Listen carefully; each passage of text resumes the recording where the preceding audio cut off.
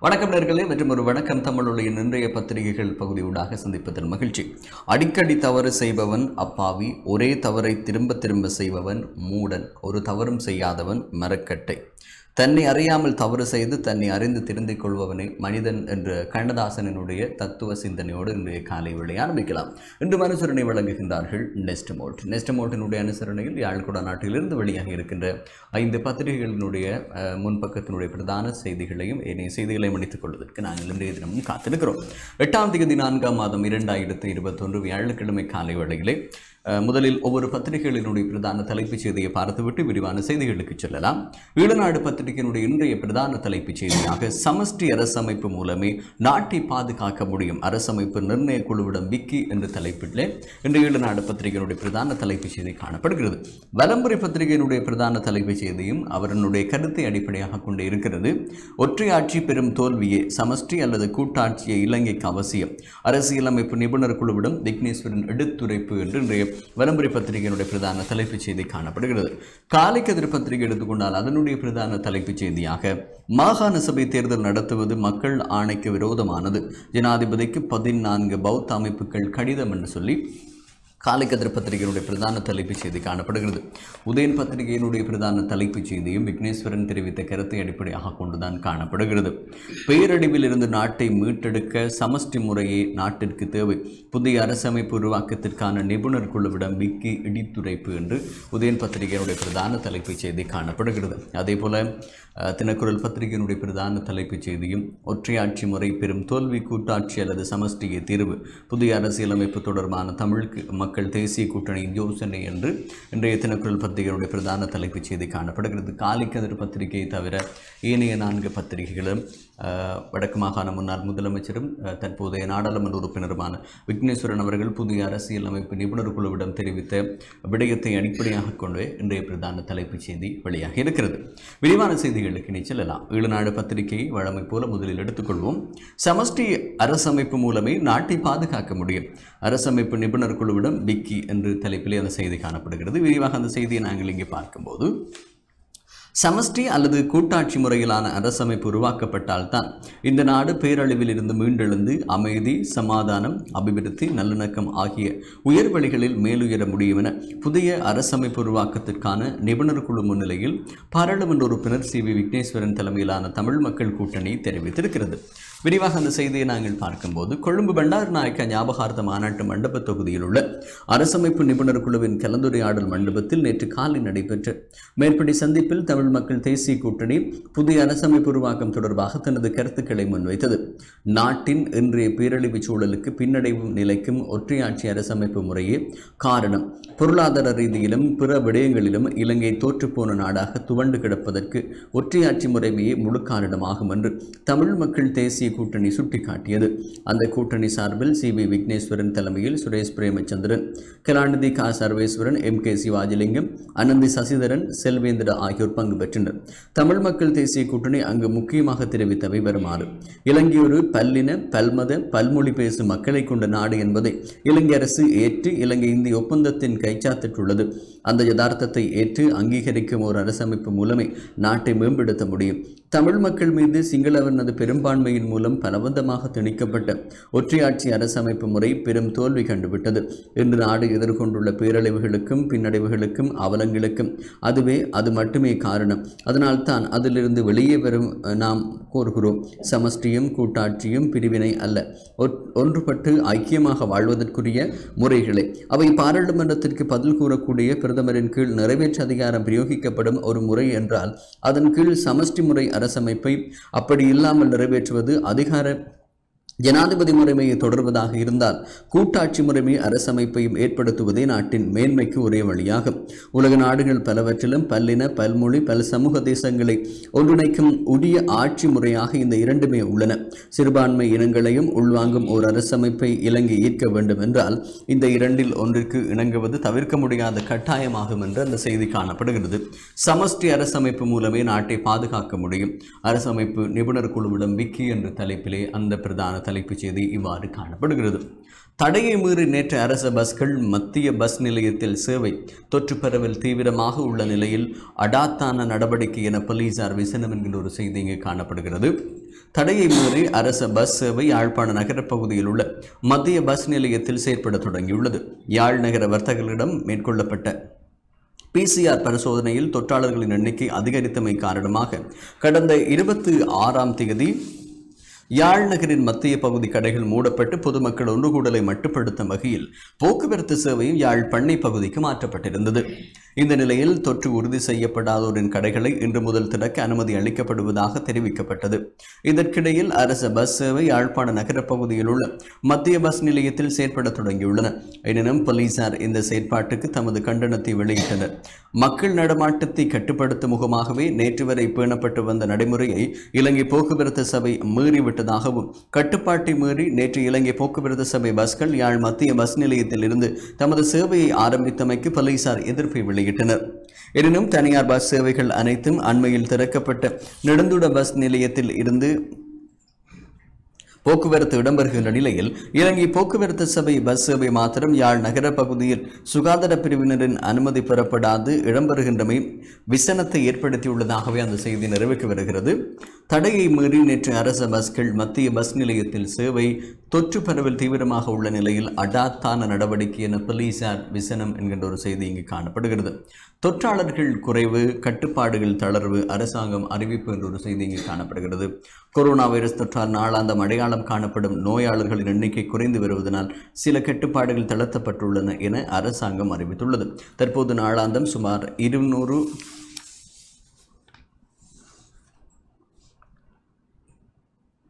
இருநூறு பேர் மட்டுமே அடையாளம் காணப்படுவதாக கொரோனா கட்டுப்பாட்டு ராஜாங்க அமைச்சர் சுதர்சினி பெர்னாண்டோ பிள்ளை தெரிவித்துள்ளார். இதேவேளை குறைந்து வரும் தொற்றுக்கு இணையாக பிசிஆர் பரிசோதனைகள் படிப்படியாக குறைக்கப்பட்டிருக்கின்றன. அன்றி பரிசோதனைகள் எண்ணிக்கை குறைப்பதனால் நோயாளிகளின் எண்ணிக்கை குறையவில்லை என்றும் அவர் சுட்டிக்காட்டினார். அத்தோடு புத்தாண்டு கால பகுதியில் பொதுமக்கள் கண்டிப்பாக பின்பற்ற வேண்டிய புதிய வழிகாட்டுதல்கள் வெளியிடப்பட்டுள்ளன என்றும் அவர் தெரிவித்திருப்பதாக அந்த செய்தி காணப்படுகின்றது. அந்த செய்தியினுடைய தலைப்பாக தொற்றாளர்கள் குறைவு கட்டுப்பாடுகள் தளர்வு அரசாங்கம் அறிவிப்பு என்று தலைப்பிடப்பட்டு அந்த செய்தி காணப்படுகிறது. அதேபோல கொரோனா தொற்றால் மேலும் மூவர் மரணம் நூற்று தொண்ணூறு புதிய தொற்றாளர்கள் என்ற ஒரு செய்தி அதன் தொடர்ச்சியான செய்தியாக இங்கு இடம் பிடித்திருக்கிறது நாட்டில் கொரோனா வைரஸ் தொற்றால் மேலும் மூவர் உயிரிழந்திருக்கிறார்கள். இதனை அரசாங்க தகவல் திணைக்களம் தெரிவித்திருக்கிறது. இந்த நிலையில் நாட்டில் கொரோனா தொற்றால் உயிரிழந்தோரின் மொத்த எண்ணிக்கை ஐநூற்று தொன்னூற்றொன்றாக அதிகரித்திருக்கிறது. இதேவேளை நாட்டில் கொரோனா தொற்றுக்குள்ளானோரின் எண்ணிக்கை தொன்னூற்று மூவாயிரத்தை கடந்திருக்கிறது. நேற்று புதன்கிழமை இரவு பத்து மணி வரை நூற்று தொண்ணூறு புதிய தொற்றாளர்கள் இனம் காணப்பட்டனர் இதற்கமைய மொத்த தொற்றாளர்களினுடைய எண்ணிக்கை தொன்னூற்று மூவாயிரத்து தொள்ளாயிரத்து அறுபத்தி இரண்டாக உயர்வடைந்திருக்கிறது. இனம் காணப்பட்ட மொத்த தொற்றாளர்கள் தொண்ணூறாயிரத்து தொள்ளாயிரத்து பதினேழு பேர் குணமடைந்ததோடு இரண்டாயிரத்து இருநூற்று அறுபத்தி ஏழு பேர் தொடர்ந்தும் சிகிச்சை பெற்று வருகின்றனர் என்றும் மேலும் மரணங்களின் எண்ணிக்கை ஐநூற்று எண்பத்தி எட்டாக அதிகரித்திருப்பதாக சொல்லப்படுகிறது. ஆனால் நேற்றைய அந்த மூன்று பேரோடு சேர்த்து ஐநூற்று தொன்னூற்றி ஒன்றாக உயர்வடைந்திருப்பதாகவே இந்த செய்தி காணப்படுகிறது. கொரோனா தொற்றால் மேலும் மூவர் மரணம் நூற்று தொண்ணூறு புதிய தொற்றாளர்கள் என்று தலைப்பிடப்பட்ட அந்த செய்தி காணப்படுகிறது.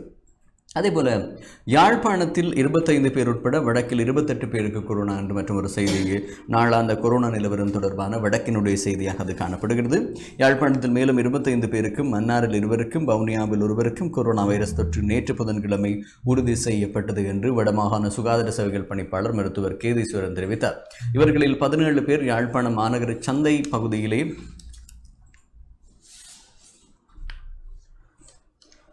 அடையாளம் காணப்பட்டவர்கள் என்றும் யாழ்ப்பாணம் பொதுநா வைத்தியசாலை மற்றும் யாழ்ப்பாண பல்கலைக்கழக மருத்துவ ஆய்வுக்கூடம் என இரண்டிலும் அறுநூற்று ஏழு பேரின் மாதிரிகள் நேற்று பரிசோதனைக்குட்படுத்தப்பட்டன. இதன்போது இருபத்தெட்டு பேருக்கு தொற்று உறுதி செய்யப்பட்டது. யாழ்ப்பாணம் பொதுநா வைத்தியசாலையில் நோயாளர் விடுதியில் நால்வருக்கும் தொற்று உறுதி செய்யப்பட்டிருக்கிறது.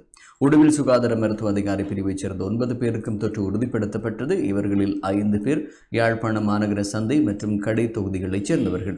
ஏனைய நால்வரும் ஏற்கனவே சுய தனிமைப்படுத்தப்பட்டிருந்தவர்கள் சங்கானை சுகாதார மருத்துவ அதிகாரி பிரிவைச் சேர்ந்த ஒருவருக்கும் தொற்று உறுதி செய்யப்பட்டது. இவர் ஏற்கனவே சுய தனிமைப்படுத்தப்பட்டவர் சண்டிலிப்பாய் சுகாதார மருத்துவ அதிகாரி பிரிவைச் சேர்ந்த இருவருக்கும் தொற்று கண்டறியப்பட்டது. இவர்கள் இருவரும் யாழ்ப்பாண மாநகர கடை தொகுதியைச் சேர்ந்தவர்கள். தெல்லிப்பள்ளை சுகாதார மருத்துவ அதிகாரி பிரிவைச் சேர்ந்த இருவரும் தொற்றாளர்களாக அடையாளம் காணப்பட்டனர். இவர்கள் இருவரும் சுய தனிமைப்படுத்தலில் கண்காணிக்கப்பட்டவர்கள் என்றும் நல்லூர் சுகாதார மருத்துவ அதிகாரி பிரிவைச் சேர்ந்த ஆறு பேருக்கு தொற்று உறுதிப்படுத்தப்பட்டது. இவர்கள் நால்வரும் யாழ்ப்பாண மாநகர வர்த்தக நிலையங்களைச் சேர்ந்தவர்கள். தெல்லிப்பள்ளி வைத்தியசாலையில் சேர்க்கப்பட்ட ஒருவருக்கும் தொற்று உறுதிப்படுத்தப்பட்டது. மன்னார் வைத்தியசாலை வெளிநோயாளர் பிரிவில் சேர்க்கப்பட்ட இருவருக்கும் தொற்று கண்டறியப்பட்டது. மேலும் வவுனியா வைத்தியசாலையில் தனிமைப்படுத்தல் விடுதியில் சேர்க்கப்பட்ட ஒருவருக்கும் தொற்று உறுதிப்படுத்தப்பட்டது. இதேவேளை யாழ்ப்பாண மாநகரில் சந்தை மற்றும் கடை தொகுதிகளைச் சேர்ந்தோரின் மாதிரிகள் ஸ்ரீ ஜெயவர்தனபுர ஆய்வுக்கூடத்திற்கு அனுப்பி வைக்கப்பட்டன. இவற்றின் பிசிஆர் பரிசோதனை அறிக்கைக்காக காத்திருப்பதாகவும் கேதீஸ்வரன் தெரிவித்திருப்பதாக அந்த செய்தி நிறைவுக்கு வருகிறது. யாழ்ப்பாணத்தில் இருபத்தைந்து பேர் உட்பட வடக்கில் இருபத்தெட்டு பேருக்கு கொரோனா என்று தலைப்பிடப்பட்ட அந்த செய்தி காணப்படுகிறது. குடும்பத்திற்கு மூன்று கிலோ அரிசி இரண்டு வாரங்களுக்கு போதுமாம் என்ற ஒரு செய்தி இங்கு காணப்படுகிறது. மூவரை கொண்ட குடும்பம் ஒன்றிற்கு இரண்டு வாரங்களுக்கு மூன்று கிலோ அரிசி போதுமானது என்று வர்த்தக அமைச்சர் வந்துல குணவர்த்தன தெரிவித்திருக்கிறார். சதோச மற்றும் கூட்டுறவு நிறுவனங்களூடாக ஆயிரம் ரூபாவிற்கு சலுகை பொதி தொடர்பிலான குற்றச்சாட்டுக்கு பதிலளிக்கும் போது இதனை தெரிவித்திருக்கிறார். பன்னிரண்டு பொருட்களை கொண்ட குறித்த ஆயிரம் ரூபாய் பொதியில் காணப்படுபவன உயர்தரம் கொண்டவை. இந்த பொதியில் மூன்று கிலோ அரிசி உள்ளது. அது குறைந்தது குடும்பம் ஒன்றுக்கு இரு வாரங்களுக்கு போதுமானது என்றும் அவர் குறிப்பிட்டிருக்கிறார். அமைச்சரின் கருத்துப்படி ஒருவருக்கு நாளொன்றிற்கு எழுபத்தொரு கிராம் அரிசியை தேவைப்படும். அவரது கருத்து சமூக வலைதளத்தில் பெரும் சர்ச்சை ஏற்படுத்தி இருக்கிறது ஒருவருக்கு ஒரு மாதம் வாழ்வதற்கு சுமார் இருநூறு ரெண்டாயிரத்து ஐநூறு போதுமானது என அமைச்சர் பந்துல குணவர்த்தன முன்னர் கூறியிருந்தார் என்பதும் குறிப்பிடத்தக்கது என்று அந்த செய்தி நிறைவுக்கு வருகிறது. குடும்பத்திற்கு மூன்று கிலோ அரிசி இரண்டு வாரங்களுக்கு போதுமாம் என்ற தலைப்பிலே அந்த செய்தி காணப்படுகிறது. பந்துல குணவர்த்தன தெரிவித்த கருத்துக்களை அடிப்படையாக கொண்டு இந்த செய்தி காணப்படுகிறது. மாநகர காவல்படையினரிடம் போலீஸ் தீவிர விசாரணை ஆணையாளரும் அழைக்கப்பட்டார் என்ற ஒரு செய்தி இங்கு காணப்படுகிறது. யாழ் மாநகர சபையால் நேற்று புதிதாக அறிமுகப்படுத்தப்பட்ட யாழ் மாநகர காவல்படையைச் சேர்ந்த ஐந்து பேரிடமும் யாழ் மாநகர சபை ஆணையாளரிடமும் யாழ் போலீஸ் நிலைய போலீசார் தீவிர விசாரணைகளை மேற்கொண்டனர். இந்த விசாரணை நேற்று நள்ளிரவு வரை மூன்று மணி நேரமாக நீடித்தது என தெரிய வந்தது. யாழ் மாநகரில் சுகாதார நடைமுறைகளை கண்காணித்தல் கழிவகற்றல் பொறிமுறையை கண்காணித்தல் மற்றும் மாநகரின் ஒழுங்கு உள்ளிட்டவற்றை கண்காணிப்பதும் தண்ட பணத்தை அறவிடுவதற்காக குறித்த மாநகர பாதுகாப்பு படை உருவாக்கப்பட்டது. குறித்த மாநகர பாதுகாப்பு படை இன்று அங்குரார்ப்பணம் செய்து வைக்கப்பட உள்ள நிலையிலே நேற்று காலை பரீட்சார்த்தமாக நல்லூர் சுற்றாடலில் பணியில் ஈடுபட்டது. யாழ் மாநகர சுகாதார பணிமனைகளில் பணியாற்றும் உத்தியோகஸ்தர்கள் ஐந்து பேரை புதிய சீருடை ஒன்றை அறிமுகம் செய்து மாநகர காவல்படை என்ற பெயரில் யாழ் மாநகரை மாநகர சபை உருவாக்கியது. இந்த ஐவருமே நேற்று யாழ் போலீசாரால் விசாரணைக்கு அழைக்கப்பட்டனர். அவர்களுடன் யாழ் மாநகர சபை ஆணையாளர் பிரதம வருமான வரி பரிசோதகர் ஆகியோரும் விசாரணைக்கு அழைக்கப்பட்டனர். மாநகர காவல் படையினரின் சீருடை உடனடியாக போலீஸ் நிலையத்தில் கையளிக்குமாறும் கூறப்பட்டதாகவும் தெரிய வந்தது என்று சொல்லி அது செய்தி நிறைவுக்கு வருவதை நாங்கள் காணக்கூடியதாக இருக்கிறது. மாநகர காவல் படையினரிடம் போலீஸ் தீவிர விசாரணை ஆணையாளரும் அழைக்கப்பட்டார் என்ற ஒரு செய்தி இங்கு காணப்படுகிறது. பிரபாகரனின் படத்தை அலைபேசியில் வைத்திருந்த இளைஞன் கைதாகினார் என்ற ஒரு செய்தி இருக்கிறது இங்கே. தமிழீழ விடுதலை புலிகளின் அஹ், தலைவர் வேலுப்பிள்ளை பிரபாகரனின் ஒளிப்படத்தை அலைபேசியில் வைத்திருந்த குற்றச்சாட்டில் கைது செய்யப்பட்ட இளைஞனை விளக்கமறியலில் வைக்க யாழ்ப்பாணம் நீதவான் நீதிமன்றம் உத்தரவிட்டது. கோப்பாய் பகுதியைச் சேர்ந்த இளைஞர் ஒருவர் நேற்று போலீசாரால் கைது செய்யப்பட்டார். அவர் விசாரணைகளின் பின்னர் நேற்று யாழ்ப்பாணம் நீதவான் நீதிமன்றத்தில் முற்படுத்தப்பட்டார். இலங்கை தண்டனை சட்டக்கோவை நூற்றி இருபதாம் பிரிவின் கீழ் வெறுப்பை தூண்டுதல் அல்லது எத்தணித்தலின் கீழ் இளைஞன் மீது பி அறிக்கை கோப்பாய் போலீசாரால் தாக்கல் செய்யப்பட்டது. இளைஞன் சார்பில் மூத்த சட்டத்திறனி ரெமிடியஸ் முன்னிலையானார். வழக்கை விசாரித்த நீதவான் இருதரப்பு விண்ணப்பங்களையும் ஆராய்ந்து இளைஞனை எதிர்வரும் ஏப்ரல் இருபத்தோராம் தேதி வரையில் விளக்கமறியலில் வைக்க உத்தரவிட்டிருக்கிறார். இதேவேளை இளைஞனின் அலைபேசியில் தமிழீழ விடுதலை புலிகள் அமைப்பின் தலைவர் பிரபாகரனின் ஒளிப்படம் உள்ளமை தொடர்பில் போலீசாருக்கு வழங்கப்பட்ட தகவலின் அடிப்படையிலேயே அவர் கைது செய்யப்பட்டிருக்கலாம் என தெரிவிக்கப்பட்டிருப்பதாக அந்த செய்தி காணப்படுகிறது. பிரபாகரனின் படத்தை அலைபேசியில் வைத்திருந்து இளைஞன் கைதாகினார் என்ற ஒரு செய்தியாக அந்த செய்தி காணப்படுகிறது. இஸ்லாமிய அமை பதினோரு இஸ்லாமிய அமைப்புகளுக்கு நாட்டில் தடை விதிக்கப்பட்டது என்ற ஒரு செய்தி இங்கு காணப்படுகிறதன் கீழே சர்வதேச மற்றும் உள்நாட்டைச் சேர்ந்த பதினோரு இஸ்லாமிய அமைப்புகள் தடை செய்வதற்கு சட்டமா அதிபர் அஹ், தபுலடி லிவேரா நேற்று அனுமதி வழங்கியிருக்கிறார். இந்த அமைப்புகள் பயங்கரவாதம் மற்றும் இஸ்லாமிய அடிப்படை வாத கொ- கொள்கைகளுடன் தொடர்புடையவை என்று கூறப்படுகிறது. நேற்று தடை செய்யப்பட்ட அமைப்புகளின் பட்டியலில் இரண்டாயிரத்தி பத்தொன்பது ஏப்ரல் இருபத்தொன்று குண்டு தாக்குதலை நடத்திய ஜஹரான் ஹாசிமின் அடிப்படைவாத அமைப்பான சிலோன் தாஹித் ஜமாத் மற்றும் சர்வதேச பயங்கர அமைப்பான ஐஎஸ்ஐஎஸ் என்று அறியப்பட்ட ஈரான் ஸ்ரீயா இஸ்லாமிய தேசம் அமைப்பு என்பனவும் உள்ளன. இது தவிர ஐக்கிய தௌஹித் ஜமாத் ஸ்ரீலங்கா தௌஹித் ஜமாத் அகில இலங்கை தௌஹித் ஜமாத் ஜம் இயத்துல் அன்சாரி சுன்னத்துல் முகாதியா தாரு அதார் ஜமுல் ஆதார் அதே போன்று ஸ்ரீலங்கா இஸ்லாமிய மாணவர் சங்கம் ஜமியா அல் கொய்தா சர்வ் த ஃபேல்ஸ் அமைப்பு சூப்பர் முஸ்லீம் அமைப்பு ஆகியனவே இந்த பதினொன்று அமைப்புகளாக தடை செய்யப்பட்ட அமைப்புகளாக இடம் பிடித்திருக்கின்றன. இனி செய்திகள் பக்கம் நாங்கள் செல்லும்போது ஈஸ்டர் தாக்குதலில் ஐம்பத்தி நான்கு வெளிநாட்டவர்கள் யாரும் தப்ப முடியாது என்கிறார் அமைச்சர் பீரிஸ் என்கிற ஒரு செய்தி இருக்கிறது இங்கே. உயிர்த்த ஞாயிறு தாக்குதல்களுடன் தொடர்புடைய அரசாங்கம் உள்நாட்டில் மாத்திரமல்ல வெளிநாட்டிலும் முழுமையான விசாரணைகளை நடத்த வேண்டும். ஐம்பத்தி நான்கு வெளிநாட்டவரை அரசாங்கம் சம்பவத்துடன் தொடர்புடையவர்களாக அடையாளம் கண்டுள்ளது என கல்வி அமைச்சர் பேராசிரியர் ஜி எல் பீரிஸ் தெரிவித்திருக்கிறார். பாராளுமன்றத்தில் நேற்று புதன்கிழமை இடம்பெற்ற உயிர்த்த ஞாயிறு தாக்குதல் தொடர்பிலான ஜனாதிபதி ஆணைக்குழுவின் விசாரணை அறிக்கை மீதான நான்காம் நாள் வி- விசாரணை விவாதத்தில் கலந்து கொண்டு உரையாற்றும் போது இவ்வாறு தெரிவித்த அவர் பேசுகையில் மாவநல்ல சம்பவம் தொடர்பில் உரிய விசாரணைகள் நடத்தியிருந்தால் உயிர்த்த ஞாயிறு தாக்குதல் தடுத்திருக்க முடியும். இந்த பாரிய அழிவு ஏற்பட்டிருக்காது. மாவனல சம்பவத்தின் பின்னர் பலர் கைது செய்யப்பட்டனர். ஆனால் துரதிருஷ்டவசமாக அவர்கள் மீண்டும் விடுதலை செய்யப்பட்டனர். இதற்கு பொறுப்பு கூற வேண்டியது யார்?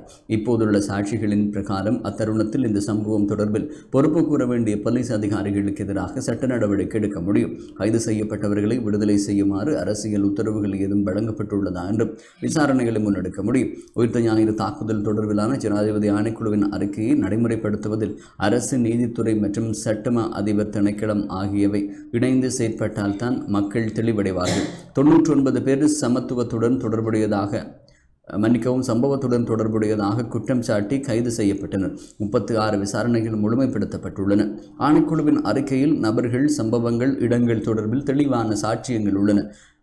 வானாத்து வில்லுவில் கண்டறியப்பட்ட ஆயுதங்கள் தொடர்பிலும் தெளிவான சாட்சியங்கள் உள்ளன. இருபத்தி ஆறாயிரம் வாள்கள் தொடர்பில் ஆராயுமாறு கருதினால் மேல்முறையீட்டு நீதிமன்றத்தில் சென்றிருந்தார். இதற்காக தற்போது இரண்டு போலீஸ் குழுக்கள் அமைக்கப்பட்டு விசாரணை செய்யப்பட்டு வருகின்றது. சுங்க திணைக்களத்தினூடாக இருபத்தி ஆறாயிரம் வாள்களை நாட்டிற்குள் கொண்டு வருவது இலகுவான காரியமல்ல. இதற்காக அரசியல் உத்தரவுகள் ஏதும் பிறப்பிக்கப்பட்டுள்ளதா என கண்டறிய வேண்டும். விடுதலை புலிகளில் கூட இரண்டு மூன்று மணத்தியாலங்களில் கொழும்பு முதல் மட்டக்களப்பு வரை எட்டு குண்டு தாக்குதல்கள் நடத்தக்கூடியதாக இருக்கவில்லை இவ்வாறான தாக்குதல்களை நடத்த வேண்டுமென்றால் மாதக்கணக்கில் அல்லது வருடக்கணக்கில் திட்டமிட வேண்டும். இந்த வலையமைப்பை உருவாக்கிய உருவாக்க நிதியை யார் வழங்கியது? ஆகவே அரசாங்கம் உள்நாட்டில் மாத்திரமல்ல வெளிநாட்டிலும் முழுமையான விசாரணைகளை நடத்தியுள்ளது. ஐம்பத்தி நான்கு வெளிநாட்டவரை அரசாங்கம் சம்பவத்துடன் தொடர்புடையவர்களாக அடையாளம் கண்டுள்ளது என்றார் என்று அந்த செய்தி நிறைவேற்றி வருவதை நாங்கள் காணக்கூடியதாக இருக்கிறது. ஈழநாடு பத்திரிகையினுடைய முன்பக்கத்தினுடைய இறுதிச் செய்தியாக அந்த செய்தி காணப்படுகிறது. ஈஸ்டர் தாக்குதலில் ஐம்பத்தி நான்கு வெளிநாட்டவர்கள் யாரும் தப்ப முடியாது என்கிறார் அமைச்சர். ஃபேரிஸ் என்கிற தலைப்பிலே அந்த செய்தி காணப்படுகிறது. உள்பக்கத்தில் இடம் பிடித்திருக்கும் செய்திகளினுடைய சாராம்சத்தை அருகில் நாங்கள் இங்கே பார்க்கலாம். பதினோராம் பக்கத்திலே நுண்கடன்களை ரத்து செய்யக்கோரி கோரி மாபெரும் கவனஈர்ப்பு போராட்டம் என்ற ஒரு செய்தி இருக்கிறது. அதே போல் பன்னிரெண்டாம் பக்கத்தில் அஸ்ட்ராசினகா இரத்தக்கட்டி பாதிப்பை ஏற்படுத்துகிறது என்ற ஒரு செய்தி இருக்கிறது. அதே போல் பதிமூன்றாவது பக்கத்திலே வந்து நியூசிலாந்திற்கு எதிரான தொடரை வென்றது ஆசி என்கின்ற ஒரு செய்தி இடம் விளையாட்டு பக்கம் அது. மீண்டும் எந்த ஒரு சந்தர்ப்பத்திலும் கொரோனா கொத்தணி உருவாகலாம். பதினான்காம் பக்கத்தில் ஒரு செய்தி செல்கிறது. இவை இன்று ஈடுநாடு பத்திரிகையினுடைய முன்பக்கத்தின் செய்திகள். சிறிய வர்த்தக விளம்பர இடைவேளை பின்பு இணைந்திருங்கள். இனிய பத்திரிகைகளின் செய்திகளையும் இணைத்துக் கொள்ள காத்திருக்கிறோம். விளம்பர இடைவேளைக்கு பின்பு தொடர்கிறது இன்றைய பத்திரிகைகளில். அடுத்து நாங்கள் தினக்குரல் பத்திரிகை எடுத்துக்கொள்ளலாம். தொடர்ச்சியாக தினக்குரல் பத்திரிகையும் இன்றைய பிரதான தலைப்புச் செய்தியாக புதிய அரசியலமைப்பு தொடர்பாக தமிழ் மக்கள் தேசிய கூட்டணி வைத்த யோசனையை அடிப்படையாக கொண்டே காணப்படுகிறது. ஒற்றையாட்சி முறை பெரும் தோல்வி கூட்டாட்சி அல்லது சமஷ்டி தீர்வு என்ற தலைப்பிலே அந்த செய்தி காணப்படுகிறது. அதாவது தற்போது நடைமுறையில் உள்ள ஒற்றையாட்சி முறையை கைவிட்டு கூட்டு சம்மேளன முறையிலான ஏற்பாட்டை உள்ளிருத்துக் கொள்ளுமாறு தமிழ் மக்கள் தேசிய கூட்டணி யோசனையை தெரிவித்திருப்பதுடன் இந்த சமஷ்டி முறையில் இலங்கை நான்கு மாநிலங்களாக இருக்க முடியும் என்றும் சுட்டிக்காட்டியுள்ளது. என்றும் இலங்கையின் புதிய அரசியலமைப்பை தயாரிக்கும் நிபுணர் குழுவை நேற்று புதன்கிழமை சந்தித்த போதே இந்த யோசனையை முன்வைத்திருப்பதாக வடக்கு மாகாண முன்னாள் முதலமைச்சரும் நாடாளுமன்ற உறுப்பினருமான விக்னேஸ்வரன் தெரிவித்த கருத்துக்களை அடிப்படையாக கொண்டே இந்த செய்தி பிரசுரிக்கப்பட்டிருக்கிறது. உங்களுக்கு தெரியும் ஏற்கனவே ஈழநாடு பத்திரிகையினுடைய பிரதான தலைப்புச் செய்தியாகவும் இதே அம்சத்தை அடிப்படையாக கொண்டவைதான் நான்கு பத்திரிகைகளில் இன்றைய தலைப்புச் செய்தி இந்த செய்தி தான் காணப்படுகிறது. இணைய செய்திகளுக்கு நாங்கள் செல்லலாம் கோழி இறைச்சியின் விலை இருநூற்று ஐம்பது ரூபாவால் அதிகரிப்பு என்ற ஒரு செய்தி இங்கே அருகிலே காணப்படுகிறது.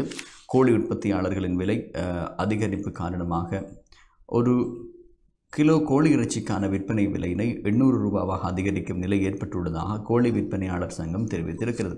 அதேவேளை ஒரு கிலோ கோழி இறைச்சியின் மொத்த விற்பனை விலை எழுநூறு ரூபாவாகும் எனவும் சங்கத்தின் தலைவர் எம். ஐ. எம். இக்பால் தெரிவித்திருக்கிறார். முன்னர் கோழி இறைச்சியின் அதிகபட்ச சில்லறை விலை ஐநூற்று ஐம்பது ரூபாவாக காணப்பட்டது. எங்களால் எண்ணூறு ரூபாவிற்கு கோழி இறைச்சியினை விற்பனை செய்ய முடியாது. மொத்த விற்பனையாளர்கள் விலை குறைப்பது தொடர்பில் தீர்மானிக்கும் வரை நாங்கள் எங்களுடைய விற்பனை நிலையங்களை மூடுவதற்கு தீர்மானித்துள்ளோம். நாங்கள் கோழி உற்பத்தியாளர்களிடமிருந்து கோழியினை பெற்றுக்கொள்ள மாட்டோம். எங்களுடைய அமைப்புகள் அமைச்சர் வந்துள்ள குணவர்த்தனவுடன் பேச்சுவார்த்தைகளை முன்னெடுத்து உறுதியான தீர்மானம் எவையும் எட்டப்படவில்லை என தெரிவித்துள்ளார். எனவே அஹ், பண்டிகை காலங்களில் சந்தைகளில் கோழி இறைச்சி பற்றாக்குறை ஏற்படுமானால் எங்களால் பொதுமக்களுக்கு உதவ முடியாத நிலை ஏற்படும் எனவும் அவர் மேலும் தெரிவித்திருப்பதாகவே அந்த செய்தி காணப்படுகிறது. கோழி இறைச்சியின் விலை இருநூற்று ஐம்பது ரூபாவால் அதிகரிப்பு என்று தலைப்பிடப்பட்ட அந்த செய்தி காண காணப்படுகிறது. இணைய செய்திகள் பக்கம் நாங்கள் இன்று செல்வமாக இருந்தால் யாழ் கொரோனா தொற்று முடிவுகள் என்று யாழ் நகர் நவீன சந்தையில் ஐம்பத்து நான்கு பேர் யாழ் பரிசோதனை கூடங்களில் இருபத்தைந்து பேர் என்ற ஒரு செய்தி இருக்கிறது. விரிவாக அந்த செய்திகளை பார்க்கலாம். யாழ் குடாநாட்டில் உள்ள ஆய்வுக்கூடங்களில் நேற்று அறுநூற்று முப்பத்தி ஏழு பேருக்கு மேற்கொள்ளப்பட்ட பிசிஆர் பரிசோதனையின் யாழ்ப்பாணத்தில் இருபத்தைந்து பேர் உட்பட இருபத்தொன்பது பேருக்கு தொற்று உறுதி செய்யப்பட்டது. அதேபோல யாழ் நகர் நவீன சந்தை தொகுதி வர்த்தகர்கள் நானூற்று அறுபத்தி ஆறு பேரிடமிருந்து கடந்த திங்கட்கிழமை பெறப்பட்ட மாதிரிகள் முல்லேரியா ஆய்வுக்கூடத்திற்கு அனுப்பி வைக்கப்பட்ட நிலையிலேயே அவர்களில் ஐம்பத்தி நான்கு பேருக்கு தொற்று உறுதியானதாக வடக்கு மாகாண சுகாதார சேவைகள் பணிப்பாளர் கேதீஸ்வரன் தெரிவித்தார். யாழ்ப்பாணத்தில் மேற்கொள்ளப்பட்ட பரிசோதனைகளில் யாழ் மாவட்டத்தில் இருபத்தைந்து பேரும் மன்னாரைச் சேர்ந்த இரண்டு பேரும் கிளிநொச்சி வவுனியா மாவட்டங்களில் தலா ஒருவரும் தொற்று உறுதியானது என்றும் யாழ் பொதுநா வைத்தியசாலையில் முன்னூற்றி இருபத்தி ஒரு பேரில் மேற்கொள்ளப்பட்ட பரிசோதனை அடிப்படையில் யாழ் பொதுநா வைத்தியசாலை நான்கு பேருக்கும் தொற்று உறுதியானது. தெல்லிப்படை சுகாதார அதிகாரி பிரிவில் இரண்டு தெல்லிப்படை ஆதார வைத்தியசாலையில் ஒன்று மன்னார் மாவட்ட பொது வைத்தியசாலையில் இரண்டு வவுனியா மா மாவட்ட பொது வைத்தியசாலையில் ஒன்று கிளிநொச்சியில் ஒன்று என தொற்றாளர்கள் பதிவாகி இருப்பதாக அந்த செய்தி விரிவான செய்தி வழியாக செல்வதை நாங்கள் அவதானிக்கிறோம். யாழ்ப்பாண கொரோனா தொற்று முடிவுகள் என்று தலைப்பிடப்பட்டு யாழ் நகர் நவீன சந்தையில் ஐம்பத்து நான்கு யாழ் பரிசோதனை கூடங்களில் இருபத்தி ஐந்து என்கின்ற ஒரு செய்தியாக அந்த செய்தி காணப்படுகிறது. முடங்கிய நிலையிலிருந்து இன்று மீள்கிறது யாழ் நகர பகுதி. தொற்று உறுதியானவர்களின் கடைகள் மூடப்பட்டிருக்கும் என்ற ஒரு செய்தி இங்கு காணப்படுகிறது. அந்த செய்தி இரண்டாம் பக்கத்தில் விரிவாக செல்கிறது. யாழ்ப்பாண நகரத்தினுடைய ஒரு பகுதியினுடைய தோற்றப்பாடாக அந்த படம் காணப்படுகிறது. ஆகவே கடந்த இருபத்தி ஆறாம் தேதி முதல் மூடப்பட்டிருந்த யாழ்ப்பாணம் மத்திய நகர பகுதி. இன்று கொரோனா தொற்று முடிவுகளின் அடிப்படையிலே தொற்று இல்லாதவர்கள் கடைகளை திறப்பதற்கான அனுமதி சுகாதார அமைப்பால் வழங்கப்பட்டிருக்கிறது. ஆகவே கொரோனா தொற்று கண்டறியப்பட்டவர்களுடைய கடைகள் தொடர்ந்து மூடப்பட்டிருக்கும் என்ற தகவலும் இங்கே இருக்கிறது. ஆகவே நாட்களுக்கு பிறகு இன்றைய தினம் மீள யாழ்ப்பாண நகரத்தினுடைய கடைகள் திறக்கப்படுவதாகவும் அந்த செய்தி சொல்லுகிறது. ஏனைய செய்திகள் பக்கம் நாங்கள் இங்கே சொல்லும்போது செல்லும்போது இலங்கையில் பதினோரு இஸ்லாமிய அமைப்புகளுக்கு தடை அனுமதியை சட்டமா அதிபர் வழங்கினார். வெளிநாடு ஒரு செய்தி இருக்கிறது. நாங்கள் ஏற்கனவே இந்த செய்தியை மீளநாடு பத்திரிகையில் இருந்து விரிவாக பார்த்திருக்கிறோம். கூட்டு இணைப்பாட்சி தனி நாட்டை கோருவதற்கான முன்முயற்சியா? அரசியலமைப்பு நிபுணர் குழுவிடம் கேள்வி என்கின்ற ஒரு செய்தி இங்கு காணப்படுகிறது. கூட்டு இணைப்பாட்சி தனிநாடு கூறுவதற்கான முயற்சியா என புதிய அரசியலமைப்பிற்கான நிபுணர் குழுவின் குழுவினர் தமிழ் மக்கள் தேசிய கூட்டணியிடம் கேள்வி எழுப்பியுள்ளனர் என்று காணப்படுகிறது. ஏற்கனவே நாங்கள் அந்த பிரதான தலைப்புச் செய்தியாக இணைய பத்திரிகைகளிலும் பார்த்திருந்த செய்திதான். ஒற்றையாட்சி முறை பெரும் தோல்வி கூட்டாட்சி அல்லது சமஷ்டி முக்கியமானது என்று முதலமைச்சர் முன்னை நாள் வட மாகாண முதலமைச்சர் தலைமையிலான தமிழ் மக்கள் தேசிய கூட்டணி வலியுறுத்தியது. அதன் அவர்கள் வலியுறுத்திய அந்த கருத்துக்களின் அடிப்படையாக கொண்டுதான் இவர்கள் இந்த கேள்வியை கேட்டிருப்பதான செய்தி காணப்படுகிறது. விரிவாக அந்த செய்தியை பார்க்கும்போது புதிய அரசியலமைப்பிற்கான யோசனையாக தமிழ் மக்கள் தேசிய கூட்டணி கூட்டு இணைப்பாட்சி ஒன்றை விடயத்தை முன்வைத்திருந்தனர். இவ்வாறான நிலையில் புதிய அரசியலமைப்பிற்கான யோசனை முன்வைத்த தரப்பினை புதிய அரசியலமைப்பிற்கான நிபுணர் குழு அழைத்து பேசி வருகிறது. இதன் பிரகாரம் நிபுணர் குழு தமிழ் மக்கள் தேசிய கூட்டணியை நேற்று புதன்கிழமை அழைத்திருந்தது. இதில் பேசிய போதே மேற்கண்டவாறு கேள்வி எழுப்பப்பட்டுள்ளது. இந்த சந்திப்பில் தமிழ் மக்கள் தேசிய கூட்டணியின் தலைவர் சி பி விக்னேஸ்வரன் முன்னாள் பாராளுமன்ற உறுப்பினர்களான சுரேஷ் பிரேமச்சந்திரன் எம். கே. சிவாஜிலிங்கம் முன்னாள் மாகாண சபை உறுப்பினர்களான அனந்தி சசிதரன் சர்வேஸ்வரன் மற்றும் அந்த கட்சியின் கணக்காளர் செல்வேந்திர ஆகியோரும் பங்கு பெற்றிருந்தனர். இதன்போது தமிழ் மக்கள் தேசிய கூட்டணியின் உங்கள் அரசியல் தீர்வு என்னவென நிபுணர் குழுவிடம் கேட்டனர் இதற்கு அவர்கள் எமக்கு அதை பற்றி ஒன்றும் சொல்லப்படவில்லை எனவும் தீர்வு பற்றி எதுவும் தெரியாது எனவும் குறிப்பிட்டனர். இவ்வாறான நிலையில் ஒற்றையாட்சி ஏற்க முடியாதென தமிழ் மக்கள் தேசிய கூட்டணி கூறினர்.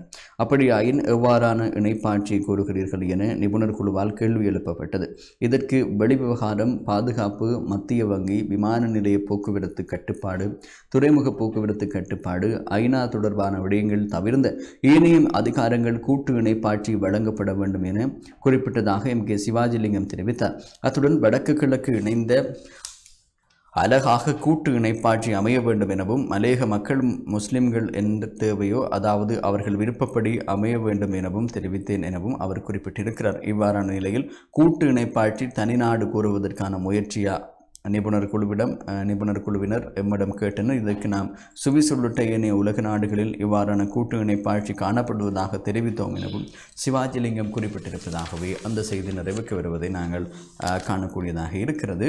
கூட்டு இணைப்பாட்சி தனிநாட்டை கூறுவதற்கான முயற்சி என்ற கேள்விக்குறியோடு அந்த செய்தி காணப்படுகிறது. ஏனைய செய்திகள் பக்கம் செல்லலாம். பிரதான சூத்திரதாரியை அரசு உருவாக்குகிறதா?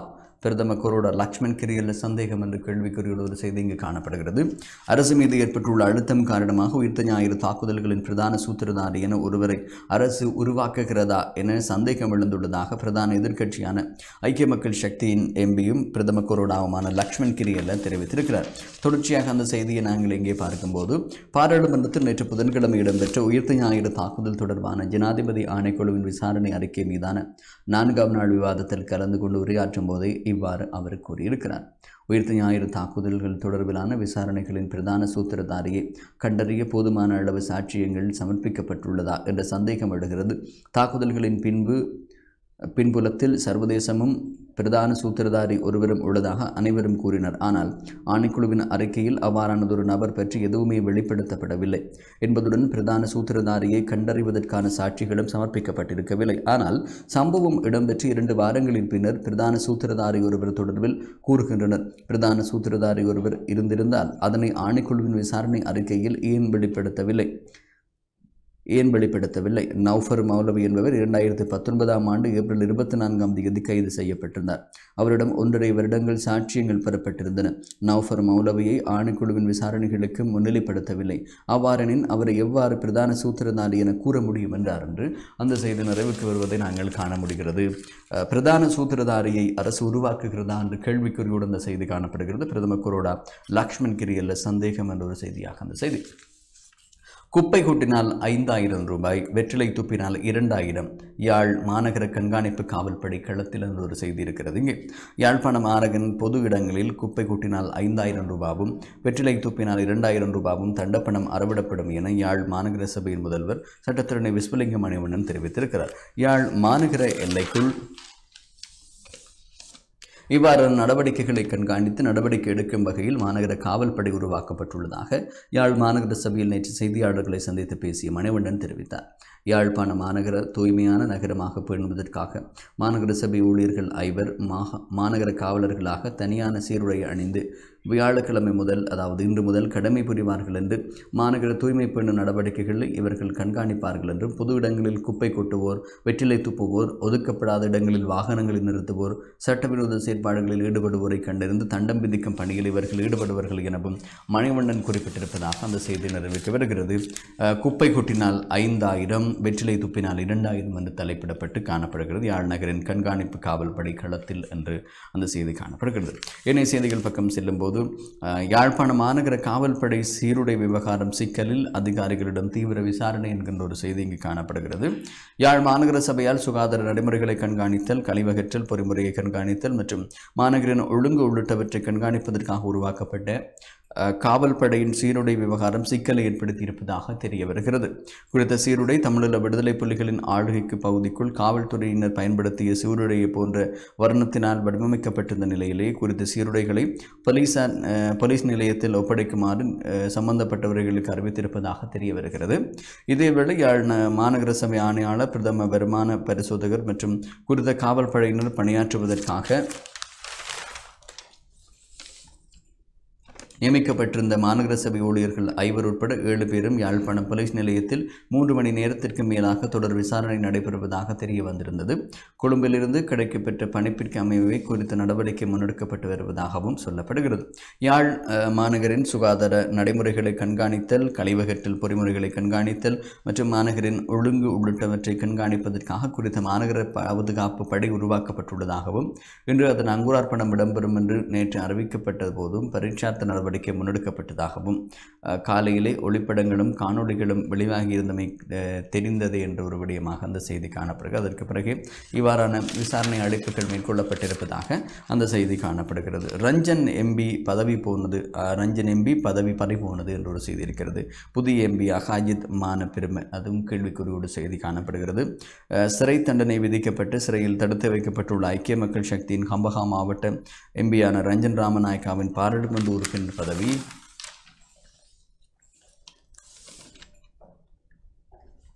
வெற்றிடமாக உள்ள உள்ளதாக சபாநாயகர் மஹிந்தயா மஹிந்த யாப்பா அபிவர்த்தன் அறிவித்தார். பாராளுமன்றம் நேற்று புதன்கிழமை காலை பத்து மணிக்கு சபாநாயகர் மஹிந்த யாப்பா அபிவர்த்தன தலைமையில் கூடியது. இதனையடுத்தே சபாநாயகர் அறிவிப்பை வெளியிட்ட போது இதனை அறிவித்த சபாநாயகர் மஹிந்த யாப்பா அபிவர்த்தன மேலும் கூறுகையில் நீதிமன்றத்தை அவமதித்த குற்றச்சாட்டில் ரஞ்சன் ராமநாயக்காவிற்கு நான்கு வருடங்கள் கடவுளிய சிறை தண்டனையை விதித்து கடந்த ஜனவரி பன்னிரெண்டாம் தேதி தீர்ப்பளிக்கப்பட்ட நிலையில் அவர் சிறையில் தடுத்து வைக்கப்பட்டுள்ளார். இந்த நிலையில் தனது பாராளுமன்ற ஆசனத்தை ரத்து செய்வதை தடுக்கும் வகையில் உத்தரவு பிறப்பிக்க கோரி ரஞ்சன் ராமநாயக்க சார்பில் மனு தாக்கல் செய்யப்பட்டது. எனினும் இந்த ரிச் மனு கடந்த ஐந்தாம் தேதி மேல்முறையீட்டு நீதிமன்றத்தில் நிராகரித்திருந்தது. இந்த நிலையிலேயே ஐக்கிய மக்கள் சக்தியின் கம்பகா மாவட்ட எம்பியான ரஞ்சன் ராமநாயக்காவின் பாராளுமன்ற உறுப்பினர் பதவி வெற்றிடமாக உள்ளதாக சபாநாயகர் மஹிந்த யாப்பா அபயவர்தன நேற்று சபையில் தெரிவித்துள்ள ரஞ்சன் ராமநாயக்கா பாராளுமன்ற ஆசனத்திற்கு ஐக்கிய மக்கள் சக்தியின் கம்பகா மாவட்ட வேட்பாளர் பட்டியலில் அடுத்த இடத்தில் உள்ள அஜித் மானபெருமை நியமிக்கப்படலாம் என எதிர்பார்க்கப்படுவதாகவே அந்த செய்தி காணப்படுவதை நாங்கள் அவதானிக்கக்கூடியதாக இருக்கிறது. ரஞ்சனின் எம்பி பதவி பறிபோனது புதிய எம்பியாக அஜித் மான பெருமை என்ற தலைப்பிலே அந்த செய்தி காணப்படும் இன்றைய தினக்குரல் பத்திரிகையினுடைய முன்பக்கத்தின் செய்திகளாக காணப்படுகின்றன. ஏனைய சில செய்திகள் நாங்கள் ஏற்கனவே உங்களுக்கு வழங்கிய செய்திகளாகத்தான் காணப்படுகின்றன. அடுத்து நாங்கள் தொடர்ச்சியாக உதயன் பத்திரிகை எடுத்துக்கொள்ளலாம் உதயன் பத்திரிகை எடுத்துக்கொண்டால் அதனுடைய பிரதான தலைப்புச் செய்தியாகவும் இங்கு நாங்கள் ஏற்கனவே பார்த்திருந்த செய்திதான் பேரழிவிலிருந்து நாட்டை மீட்டெடுக்க சமஷ்டி முறையை நாட்டிற்கு தேவை. புதிய அரசமைப்பு உருவாக்கத்திற்கான நிபுணர் குழுவிடம் மிக்கி இடித்துரைப்பு என்று தலைப்பிடப்பட்டிருக்கிறது அந்த செய்தி. நாங்கள் ஏற்கனவே பார்த்திருந்தோம் புதிய அரசியலமைப்பு உருவாக்கத்திற்கான நிபுணர் குழுவிடம் நேற்றைய தினம் தமிழ் மக்கள் தேசிய கூட்டணி புதிய அரசியலமைப்பு தொடர்பான யோசனையை முன்வைத்திருந்தது. அதிலே சமஷ்டி முறையை நாட்டிற்கு தேவை என்ற விடயத்தை வலியுறுத்தி விக்னேஸ்வரன் அங்கு கருத்து தெரிவித்த விடயத்தை அடிப்படையாக கொண்டுதான் இந்த பிரதான தலைப்புச் செய்தி பிரசுரிக்கப்பட்டிருக்கிறது. நாங்கள் இந்த செய்தியை விரிவாக பார்த்திருந்தபடியினால் ஏனைய செய்திகளுக்கு செல்லலாம்.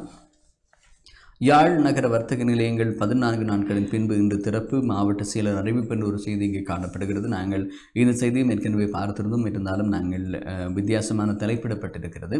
யாழ் மாநகர மத்திய உள்ள கடைகள் உரிமையாளர்கள் மற்றும் பணியாளர்களில் கோவிட் பத்தொன்பது நோய் தொற்றால் பாதிக்கப்பட்டவர்கள் பணியாற்றும் கடைகள் தவிர்த்த ஏனைய கடைகள் இன்று வியாழக்கிழமை தொடக்கம் திறக்க அனுமதி வழங்கப்பட்டிருப்பதான செய்தி தான். கடந்த இருபத்தி ஆறாம் தேதி யாழ் மாநகர பகுதியில் இனம் காணப்பட்ட கொரோனா பரவலை அடுத்து யாழ் மத்திய பகுதி சில வீதி வீதிகள் கடைகள் எல்லாம் மூடப்பட்டிருந்தன இருபத்தாறாம் தேதி. இன்று தொற்று இல்லாதவர்களினுடைய கடைகளை மீள திறப்பதற்கான அனுமதியை மாவட்ட சீலர் விடுத்திருக்கிறார் விடுத்திருக்கிறார். அதேபோன்று சுகாதார வடக்கு மாகாண சுகாதார திணைக்களத்தினரும் நேற்றைய தினம் இந்த தகவலை வெளியிட்டிருந்தார்கள். ஆகவே அதன் அடிப்படையில் அந்த த- தகவல் காணப்படும். அதே போன்று எண்பத்தி ரெண்டு தொற்றாளர்கள் வடக்கில் நேற்று என்ற ஒரு செய்தி இருக்கிறது. உங்களுக்கு தெரியும் இருபத்தொன்பது பேர் பரிசோதனைகளின் போது கண்டுபிடிக்கப்பட்டிருந்தார்கள். நாள் அறிக்கையாக. அதே போல் மாநகர மத்தியிலே எடுக்கப்பட்ட பிசிஆர் பரிசோதனையின் அடிப்படையில் வந்து ஐம்பத்தி நான்கு பேர் தொற்றாளர்களாக இனம் காணப்பட்டிருந்தார்கள். ஆகவே மொத்த தொற்றாளர்களுடைய எண்ணிக்கை எண்பத்தி ரெண்டு பேருக்கு நேற்று யாழ்ப்பாண நகரில் இல்லாவிட்டால் வடக்கிலே காணப்படுவதாக அந்த செய்தி சொல்கிறது.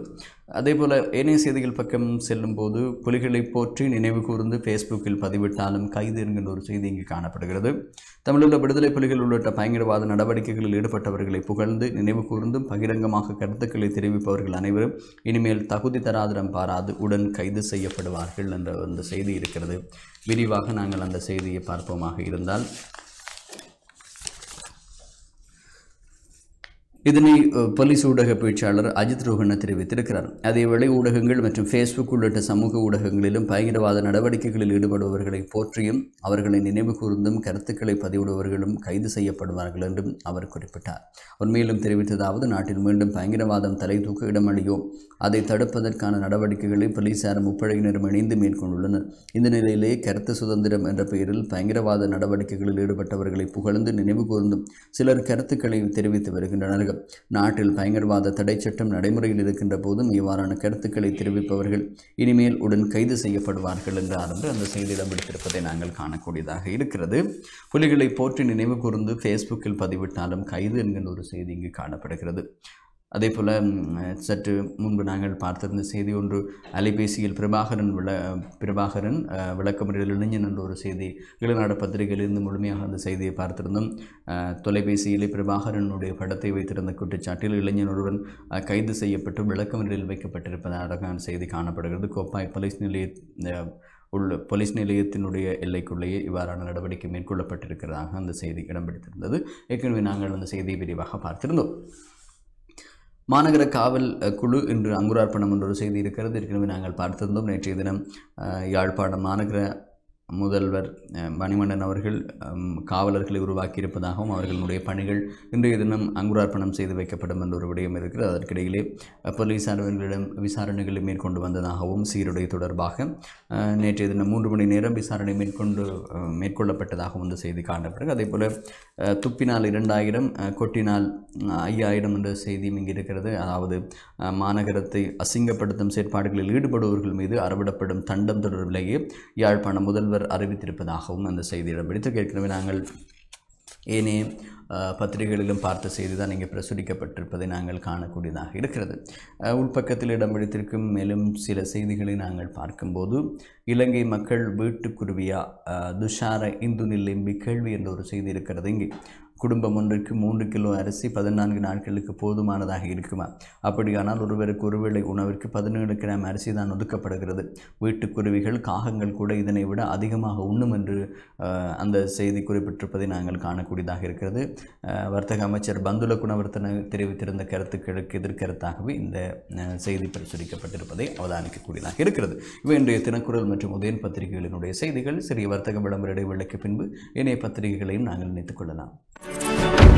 விளம்பர இடைவெளி தொடர்ந்து தொடர்கிறது இன்றைய பத்திரிகைகளில். அடுத்து நாங்கள் காலைக்கதிர் பத்திரிகை எடுத்துக்கொள்ளலாம் அதனுடைய பிரதான தலைப்புச் செய்தியாக மாகாண சபை தேர்தல் நடத்துவது மக்கள் ஆணைக்கு விரோதமானது. ஜனாதிபதிக்கு பதினான்கு பௌத்த அமைப்புகள் கடிதம் என்ற ஒரு செய்தி இங்கே இடம்பிடித்திருக்கிறது மாகாண சபை தேர்தலை அரசு நடத்துவது மக்கள் ஆணைக்கு விரோதமான நடவடிக்கையாகும் என்று பௌத்த அமைப்புகள் தெரிவித்துள்ளன. பதினான்கு பௌத்த அமைப்புகளின் தேரர்கள் ஜனாதிபதி கோட்டபய ராஜபக்ஷ பிரதமர் மஹிந்த ராஜபக்ஷ ஆகியோருக்கு நேற்று அனுப்பி வைத்துள்ள கடிதத்திலேயே மேற்கண்டவாறு குறிப்பிடப்பட்டிருக்கிறது. விரிவாக அந்த செய்தியை நாங்கள் இங்கே பார்க்கும்போது மாகாண சபை தேர்தலை நடத்துவதற்கான நடவடிக்கைகளை அரசு உடனடியாக நிறுத்த வேண்டும் என்றும் அரசின் தீர்மானம் வாக்களித்த மக்களின் ஆணைக்கு விரோதமானது என்றும் பௌத்த அமைப்புகள் அந்த கடிதத்தில் சுட்டிக்காட்டியுள்ளன. நாடாளுமன்ற தேர்தல் வாக்குறுதிக்கு அமைய நியமிக்கப்பட்டுள்ள புதிய அரசியல் அமைப்பு வரைவு குழு அதன் பரிந்துரைகளை முன்வைக்க முன்னர் மாகாண சபை தேர்தலை நடத்துவது அமைச்சரவையின் தூர நோக்கற்ற செயற்பாடாகும் என்றும் குறித்த கடிதத்தில் தெரிவிக்கப்பட்டிருக்கிறது. மாகாண சபை தேர்தலை நடத்தி மாகாண சபை சபைகள் மீண்டும் ஸ்தாபிக்கப்பட்டால் அரசமைப்பின் பதிமூன்றாவது திருத்த சட்டத்திற்கு ஏற்ப அரசு செயற்பட வேண்டிய நிலை ஏற்படும் என்றும் பௌத்த அமைப்புகள் எச்சரித்துள்ளன. வாக்களித்த மக்களின் மிக முக்கியமான எதிர்பார்ப்பை அரசு குறுகிய காலத்தில் மறந்தமை கவலை அளிக்கிறது எனவும் பௌத்த அமைப்புகள் ஜனாதிபதி மற்றும் பிரதமருக்கு அனுப்பி வைத்துள்ள கடிதத்தில் மேலும் தெரிவித்துள்ளன என்று அந்த செய்தி நிறைவுக்கு வருகிறது. மாகாண சபை தேர்தலை நடத்துவது மக்கள் ஆணைக்கு விரோதமானது. ஜனாதிபதிக்கு பதினான்கு பௌத்த அமைப்புகள் கடிதம் என்ற ஒரு செய்தியாக அந்த செய்தி இடம் பிடித்திருக்கிறது. என்ன செய்திகளை இங்கே பார்க்கும்போது யாழில் மேலும் இருபத்தைந்து பேருக்கு கொரோனா தொற்று உறுதி என்ற ஒரு செய்தி இடம் பிடித்திருப்பதை நாங்கள் காணக்கூடியதாக இருக்கிறது. யாழ்ப்பாணத்தினுடைய நேற்றைய நிலவர அறிக்கையின்படி அந்த செய்தி இடம்பிடித்திருக்கு. ஆனால் சற்று முன்பு வெளியாக இருக்கின்ற அறிக்கையின் பிரகாரம் இன்றைய தினம் அதாவது முல்லேரியாவிற்கு அனுப்பி வைக்கப்பட்ட பிசிஆர் பரிசோதனைகள் முடிவிலே யாழ்ப்பாணத்தில் மேலும் நூற்று இருபத்தொன்பது பேருக்கு தொற்று உறுதிப்படுத்தப்பட்டிருப்பதாக வடமாகாண சுகாதார சபைகள் பணிப்பாளர் மருத்துவன் கேதீஸ்வரன் மருத்துவர் கேதீஸ்வரன் தெரிவித்திருக்கிறார். அவர்களில் எண்பத்தெட்டு பேர் நல்ல நல்லூர் சுகாதார மருத்துவ அதிகாரி பிரிவின் பாட்பண்ணை பாரதிபுரம் கிராமத்தைச் சேர்ந்தவர்கள் என்று அவர் குறிப்பிட்டிருக்கிறார். ஸ்ரீ ஜெயவர்தனபுர ஆய்வுக்கூடத்திற்கு ஆயிரத்து மூன்று பேரின் மாதிரிகள் நேற்று பரிசோதனைக்கு உட்படுத்தப்பட்டன அவர்களிலேயே நூற்றி இருபத்தொன்பது பேருக்கு தொற்று உள்ளமை கண்டறியப்பட்டிருக்கிறது.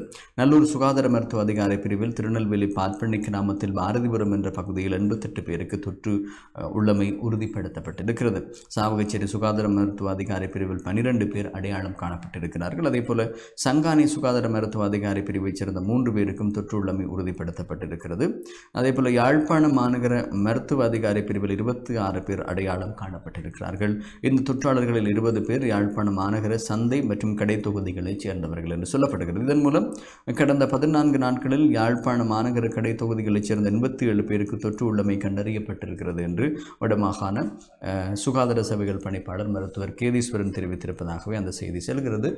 சற்று முதல் அதாவது முல்லேரியாவிற்கு அனுப்பி வைத்த பிசிஆர் அறிக்கைகளின் முடிவுகளின்படி வெளியாகி இருக்கின்ற செய்திகளை அடிப்படையாக கூட அந்த செய்தி காணப்படுகிறது. நூற்றி இருபத்தொன்பது பேர் மேலும் தொற்றாளர்களாக இனங்காணப்பட்டிருப்பதான செய்தி தான் அது இணைய செய்திகள் பக்கம் இங்கு செல்லலாம்.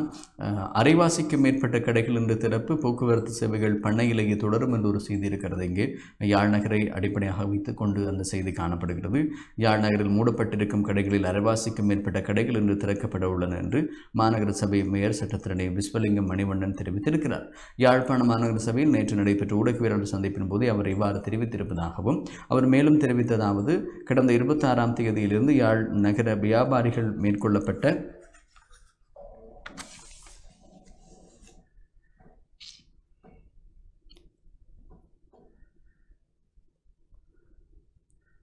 மேற்கொள்ளப்பட்ட வியாபார நடவடிக்கையில் ஈடுபடாமல் இருந்தமை தொடர்பாகவே பின்பு நேற்றைய தினம் மேற்கொள்ளப்பட்ட பிசிஆர் பரிசோதனைகளின் அடிப்படையிலேயே வந்து அரவாசிக்கும் மேற்பட்ட கடைகளை மேலும் திறப்பதற்கான சந்தர்ப்பம் இருப்பதாக மாநகர முதல்வர் தெரிவித்திருந்த செய்திகளை அடிப்படையாக கொண்டே அந்த செய்தி இடம்பிடித்திருப்பதை நாங்கள் காணக்கூடியதாக இருக்கிறது. அதே போல் இப்போது நூற்றி இருபத்தி ஒன்பது பேரினுடைய தொற்று இருப்பதற்காக உறுதிப்படுத்தப்பட்டிருக்கிறது. ஆகவே அது தொடர்பான அடுத்த கட்ட நகர்வுகள் எவ்வாறு இருக்கும் என்பதை நாங்கள் பொறுத்திருந்து தான் பார்க்க வேண்டும். பெட்ரோல் குண்டு யாழ் நகரில் வீச்சு என்கின்ற மற்றும் ஒரு செய்தி இங்கு காணப்படுகிறது. யாழ்ப்பாணம் இந்து கல்லூரி மைதானத்திற்கு அருகில் யாழ் கஸ்தூரியார் வீதியில் உள்ள வீடு ஒன்றின் மீது நேற்று இரவு பத்து பதினைந்து மணியளவில் இரு பெட்ரோல் குண்டுகள் வீசப்பட்டுள்ளன. மோட்டார் சைக்கிளில் வந்த இருவரை குண்டுகளை வீசிச் சென்றுள்ளனர். ஆட்களுக்கு பாதிப்பு எதுவும் ஏற்படாத ஏற்பட்டதாக தகவல் எதுவும் இல்லை என்று அந்த செய்தி நிறைவடைகிறது. ஏனைய செய்திகள் பக்கம் செல்லும்போது பிரான்ஸ் தூதுவருடன் டக்ளஸ் நேற்று சந்திப்பு என்ற ஒரு செய்தி இடம் பிடித்திருக்கிறது. இலங்கையில் உள்ள நான்கு பிரதான மீன்பிடி துறைமுகங்களை அபிவிருத்தி செய்வதற்கு ஆர்வமாக இருப்பதாக இலங்கைக்கான பிரான்ஸ் தூதுவர் எரிக்ஸ் லெவரூட் கடற்றொழில் அமைச்சர் டக்ளஸ் தேவானந்தாவிடம் தெரிவித்திருக்கிறார். பிரான்ஸ் தூதுவர் தலைமையிலான அதிகாரிகள் அமைச்சர் டக்ளஸ் தேவானந்தாவை கடற்றொழில் அமைச்சர் நேற்று சந்தித்தனர். இதன்போதே பிரான்ஸ் தூதுவர் மேற்கண்டவாறு கூறியிருக்கிறார். கடற்றொழில் மற்றும் நீர் வேளாண்மை போன்ற துறைகளில் மேற்கொள்ளக்கூடிய அபிவிருத்தி தொடர்பாக கலந்துரையாடப்பட்டது. இந்த சந்திப்பின் போது தொடர்ந்து கருத்து தெரிவித்த தூதுவர் தென்பகுதியில் காலி பேருவிளை குடாவெல்ல மற்றும் குரானவெல்ல ஆகிய மீன்பிடி துறைமுகங்களை அபிவிருத்தி செய்வதற்கு தமது அரசு விரும்புகிறது எனவும் அதற்கான ஆய்வு நடவடிக்கைகளில் தற்போது மேற்கொள்ளப்பட்டு வருகிறது எனவும் விரைவில் அதற்கான பணிகளை ஆரம்பிக்க முடியும் எனவும் தெரிவித்தார். அத்துடன் கிழக்கு மாகாணத்தில் நன்னீர் மீன்பிடித்துறையை அபிவிருத்தி செய்வதற்கும் ஆர்வமாக இருப்பதாக தெரிவித்த பிரான்ஸ் தூதுவர். இலங்கையில் உள்ள அனைத்து நீர்நிலைகளும் உரிய முறையில் பயன்படுத்தப்பட்டு அதன் மூலம் போதிய அறுவடைகளை பெற்றுக்கொள்ள வேண்டும் என்றும் கூறினார். மேலும் இலங்கையில் கண்ணாடி நாரிலையிலாக தயாரிக்கப்பட்ட படகுகளால் அதாவது ஃபைபர் கிளாஸ் படகுகளால் சுற்றாடல் மாசடைகிறது எனவும் அவற்றை உரிய முறையில் அப்புறப்படுத்துவதற்கு தகுந்த கட்டமைப்பு ஒன்றை ஏற்படுத்தப்பட வேண்டும் எனவும் தெரிவித்ததுடன் இலங்கை கடற்றொழிலாளர்களுக்கு கடற்றொழில் துறையில் பயிற்சிகளை பெற்றுக் கொடுக்கவும் தமது நாடு ஆர்வத்துடன் இருப்பதாகவும் தெரிவித்தார்.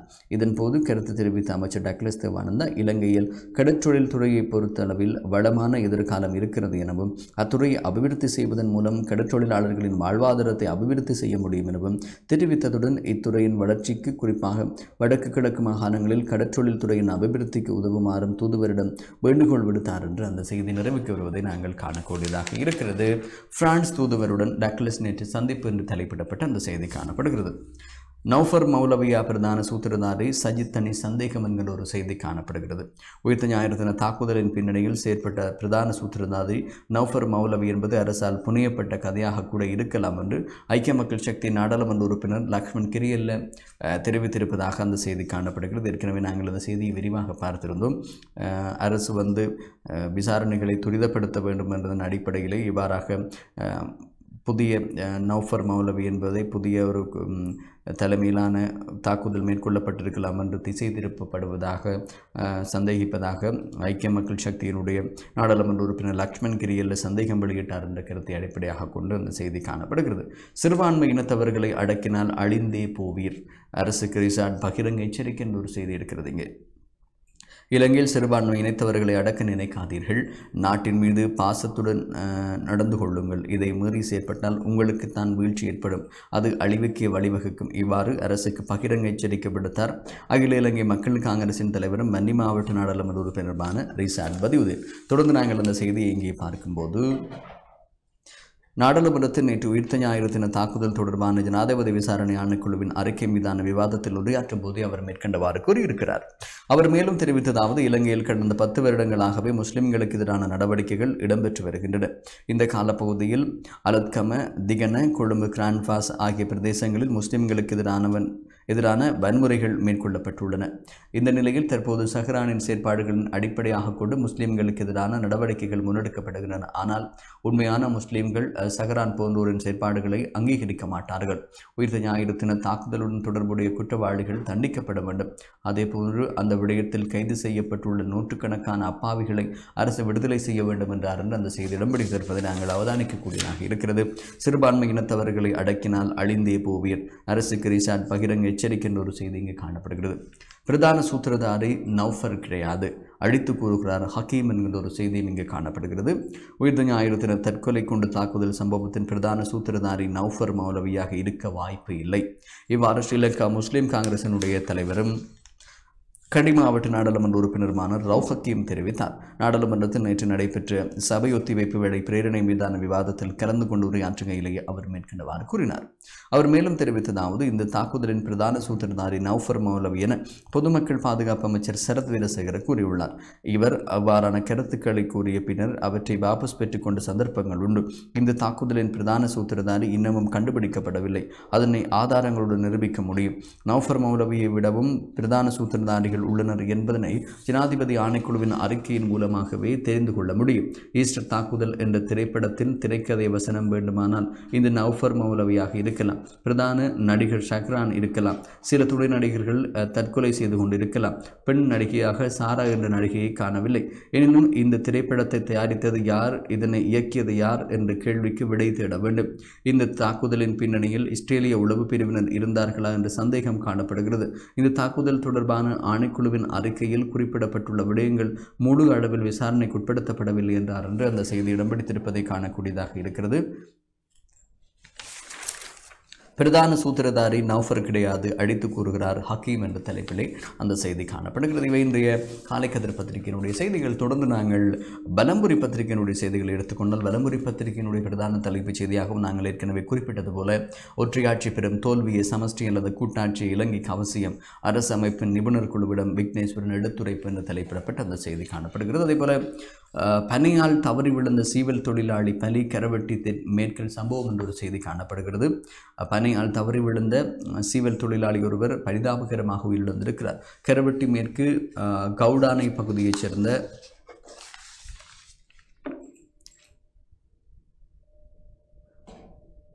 ஐம்பத்து மூன்று வயது நபர் நான்கு பிள்ளைகளின் தந்தையான மகாலிங்கம் வீராசா என்பவரை மரணமடைந்திருக்கிறார். நேற்று புதன்கிழமை காலை சீவல் தொழிலுக்காக வீட்டிலிருந்து புறப்பட்ட அவர் பனை மரத்திலிருந்து விழுந்ததாக தெரிவிக்கப்படுகிறது. மரண விசாரணையை திடீர் மரண விசாரணை அதிகாரி சதானந்தன் சிவராசா மேற்கொண்டார் என்று அந்த செய்தி காணப்படுவதை அவதானிக்கக்கூடியதாக இருக்கிறது. பனையால் தவறி விழுந்த சீவல் தொழிலாளி பலி கரவெட்டி மேற்கில் சம்பவம் என்ற செய்தி காணப்படுகிறது. யாழில் எழுபத்தைந்து கடைகள் தொடர்ந்து முடக்கம். இரண்டாவது பிசிஆர் முடிவுகளின்படி மேலும் கடைகள் முடக்கப்படலாம் என்ற ஒரு செய்தி காணப்படுகிறது. ஏற்கனவே நாங்கள் பார்த்திருந்த செய்திதானது எழுபத்தைந்து கடைகள் திறக்க முடியாது தொடர்ந்து முடக்கப்படுவதான தகவல் இருக்கிறது. நேற்றும் வெளியாகி இருந்த பிசிஆர் அறிக்கையின் பிரகாரம். இன்று வெளியாகி இருந்த பிசிஆர் அறிக்கையின் பிரகாரம் மேலும் சில கடைகள் மூடுவதற்கான வாய்ப்பு இல்லாவிட்டால் தொற்று உறுதிப்படுத்தப்பட்டவர்களுடைய கடைகளை ஏற்கனவே திறக்க அனுமதி இல்லை என்ற விடயம் தெரிவிக்கப்பட்டதன் அடிப்படையிலேயே அந்த கடைகள் திறக்கப்படாமல் இருக்கலாம். ஆகவே யாழில் எழுபத்தைந்து கடைகள் தொடர்ந்து முடக்கம் என்ற செய்தியை தாண்டி கடைகளினுடைய எண்ணிக்கை அதிகரிக்கலாம் என்று எதிர்பார்க்கப்படுகிறது. ஏனைய செய்திகள் பக்கம் நாங்கள் பார்க்கும்போது பார்த்த செய்திகளைத்தான் அதிகமாக இங்கு நாங்கள் பார்க்கக்கூடியதாக இருக்கிறது. யாழ் நகரில் உருவான புதிய காவல்படை யாழ் நகரில் தொற்று உறுதி செய்யாத வர்த்தக நிலையங்கள் இன்று முதல் திறக்க மாவட்ட அரசு அதிபர் அனுமதி என்ற ஒரு செய்தியாக அந்த செய்தி காணப்படுகிறது. இன்றைய வலம்புரி பத்திரிகையினுடைய செய்திகள். ஏற்கனவே ஏனைய பத்திரிகைகளில் பிரசுரித்த செய்திகளை பார்த்திருந்தோம். அதனோடு இணைந்த செய்திகளாகவே இந்த செய்திகளும் காணப்படுகிறது. இதோடு இன்றைய பத்திரிகைகள் பகுதி நிறைவுக்கு வருகிறது. இன்றைய தினமும் யாழ்குடா நாட்டிலிருந்து வெளியாகி இருக்கின்ற இந்த பத்திரிகைகளினுடைய செய்திகளை உங்களுக்காக வழங்கியிருந்தோம். தொடர்ந்து நமது காலை நேர பிரதான செய்தி அறிக்கைகளோடு இணைந்திருங்கள். ஒளிப்பதிவில் உதவி செய்த ஜோனிஸ்டனுக்கு நன்றி கூறி மற்றும் ஒரு நிகழ்ச்சியில் சந்திப்போம். வணக்கம் நேர்களே.